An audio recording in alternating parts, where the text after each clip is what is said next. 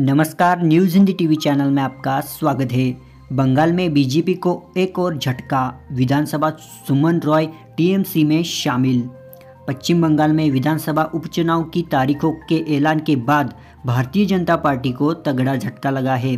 Bharatiya Janata party के विधायक सुमन रॉय ने पार्टी छोड़ दी है और उन्होंने ममता बनर्जी की पार्टी तृणमूल कांग्रेस का दामन थाम लिया है। तृणमूल कांग्रेस नेता पार्थ चटर्जी ने बताया कि कालियागंज से बीजेपी विधायक सुमन रॉय बंगाल और उत्तर बंगाल के विकास के लिए हमसे जुड़े रहे हैं। वह बंगाल की संस्कृति और विरासत को अंशुक रखना चाहते हैं। उन्होंने कहा कि अपने पूर्व सहयोगी को फिर से शामिल करने के लिए पार्टी के महासचिव के रूप में यहाँ आया हूँ।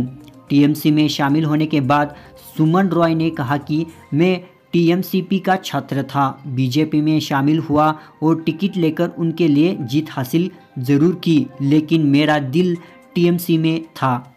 लोगों ने 213 सीटों पर आशीर्वाद बरसाया है। हमारे नेता उत्तर बंगाल और बंगाल के विकास के लिए बहुत काम कर रहे हैं और उन्होंने आगे कहा, ये मेरा गलती थी कि मैं बीजेपी में गया। मैंने उनसे माफ़ी मांगी ही है। बहुत से लोग बीजेपी से टीएमसी में शामिल होने का इंतज़ार कर रहे हैं। भवानीपुर सीट के बारे में पार्था चटर्जी ने कहा कि चुनाव लोकतंत्र का एक हिस्सा है। हमने भवानीपुर के लिए ममता का नाम बहुत पहले घोषित कर दिया था। ममता बनर्जी रिकॉर्ड अंतर के चुनाव जीतेंगे।